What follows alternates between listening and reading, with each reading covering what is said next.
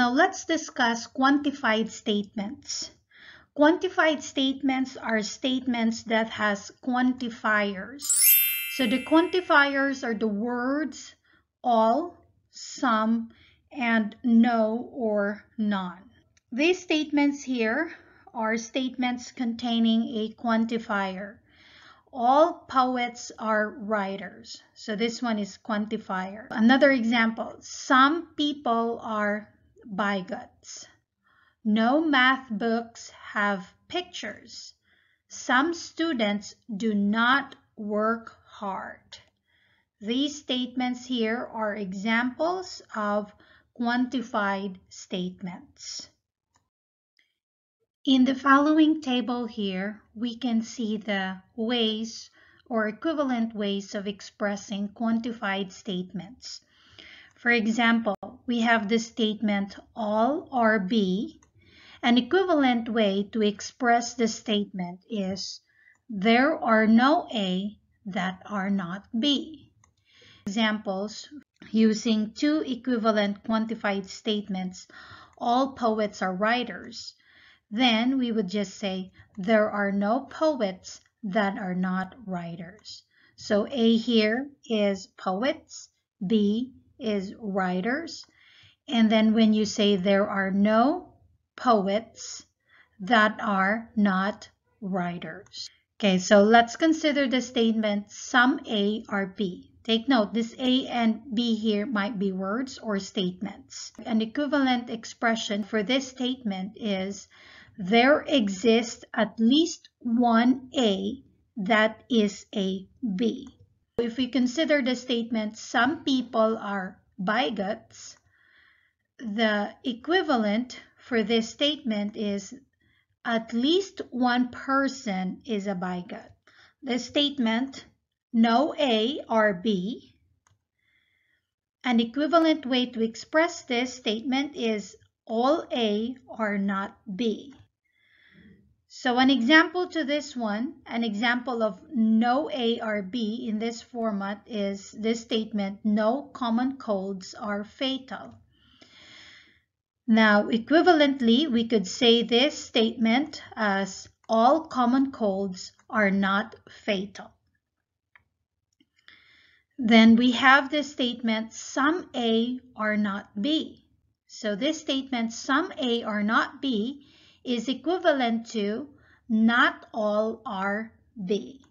This statement, some students do not work hard, is an example of a statement in this format, some A are not B. Some students do not work hard. And equivalent to that statement is not all students work hard. From the previous example, we could easily see the negation of the quantified statements when you say all are B, all are B, if you negate this, if the negation of all is some. So to negate this one, all becomes some. So all A becomes some A and R become R not B. So all A are B, when you negate that is some A or not B. And then this is equivalent to not all A or B. Again, as I mentioned, when you say some, the negation of some is no. So some A or B, when you negate that, you will have no A or B. The negation is all A or not B. I want you to take note of the relationship. Again, the negation of all is some and the negation of some is no. Now here are some examples of quantified statements. This is the statement and we'll look at the negation. So we can also represent our statement using Venn diagram. So when our statement, our statement is all writers are poets, meaning if you're a writer, then you are a poet. So you can uh, represent it using this Venn diagram here, wherein a writer is a subset, a proper subset for poets. When you negate this, the negation of all is some. So when you negate that, that becomes this statement here. Some writers are not poets. Or if you want to see the, the Venn diagram for this statement, you will actually be looking at this Venn diagram here, wherein this one is a poet and a writer. And this region here is a region then for the negation, where you have some writers are not poets. Again, the negation of all is some, and the negation of are is are not.